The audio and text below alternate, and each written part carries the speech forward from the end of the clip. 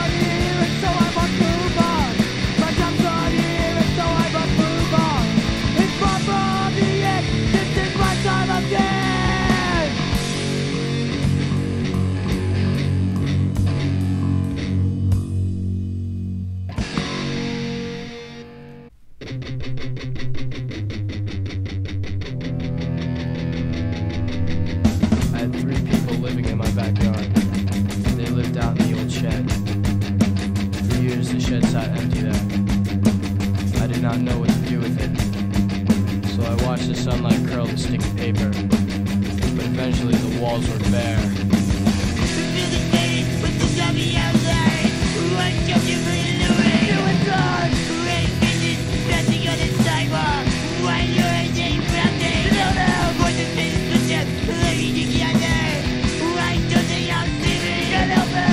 I pulled an old mattress from my attic and threw it in with some blankets into the shed. I waited outside all night but the shed was still empty in the morning. I swept the floor with a broom from the kitchen, but the dust caught the sunlight and made me cough.